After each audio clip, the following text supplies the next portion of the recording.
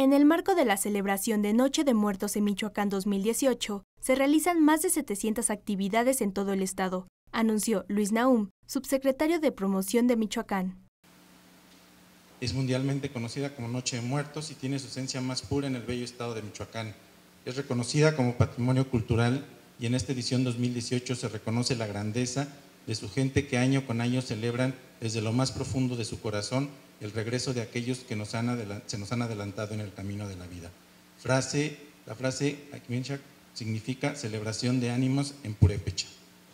Las imágenes de este año que se utilizaron muestran a la gente que vive la tradición de la esencia y que a pesar de la nostalgia conlleva esta velada, comparten con alegría los que en vida cada uno de sus seres queridos disfrutaban.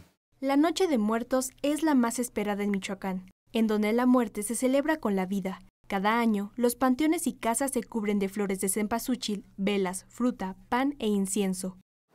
Es noche llena de luz, color, aromas y emociones que hacen vibrar nuestros sentidos. La celebración de las ánimas va de generación en generación y con estas cinco imágenes se muestra un poco de lo maravilloso que es la Noche de Muertos en Michoacán, su gente y su tradición. La relación entre la vida y la muerte, pues para nosotros prácticamente es, se puede decir así, la herencia. La herencia que nos queda de la persona que se fue, que siempre va a estar ahí, esa es nada más la diferencia.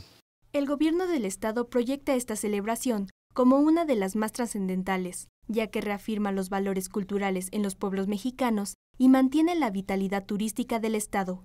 Con información e imágenes de Isaac Castruita, Notimex.